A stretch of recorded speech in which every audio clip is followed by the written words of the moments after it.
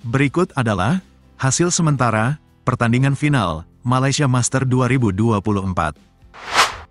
Di babak final ganda campuran, Rinov Rivaldi, Pita Haningtyas Mentari, harus kalah dari pasangan Malaysia, Go Sun Huat, Lai Sevon Jemi, dengan skor 18-21 dan 19-21 dalam durasi 47 menit. Di babak final tunggal putri, Wang Ziyi berhasil mengalahkan pemain India, Pusarla V. Sindhu, dengan skor 16-21, 21-5, dan 21-16, dalam durasi 1 jam 19 menit.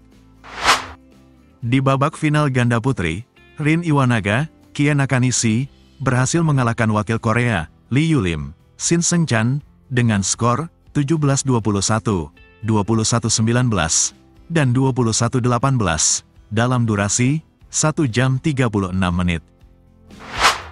Di pertandingan selanjutnya, Jin Yong, Nasung Seng, akan melawan ganda putra Denmark, Kim Astrup, Anders Skarup Rasmussen. Head-to-head kedua ganda putra adalah 0-0.